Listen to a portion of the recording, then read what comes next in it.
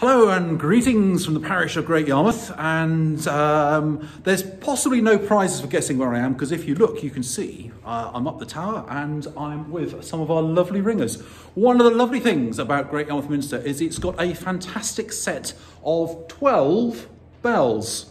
Um, very fine bells they are too and I'm up here on a Thursday evening which is when our ringers um, are, um, it's a regular practice night.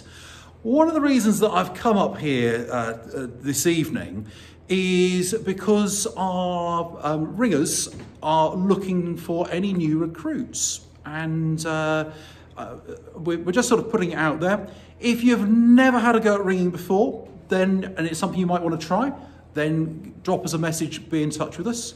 If perhaps you once did ring years ago, have tried it or even learned in the past, but just haven't had the opportunity and you'd like to just come and just see if you can have a go, drop us a, message, get in touch. We'd love to hear from you.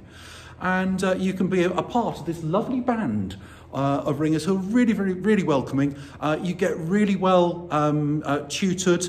It's um, something, it's not picked up instantly. It takes some time and practice and, and some dedication. And, uh, but it's, it's a wonderful thing. One of the things I find as, as rector of Yarmouth, I go around the number of people who say, oh, I heard those bells and they sounded lovely. Uh, I always appreciate, I always really enjoy listening to the bells. So I'm not going to uh, go on any, any longer. Let's have a little listen to the bells. So I'm going to step aside and I, I like the sense of command in this actually. It's kind of place. So I'm going to hand, hand you over to Angie. Away you go.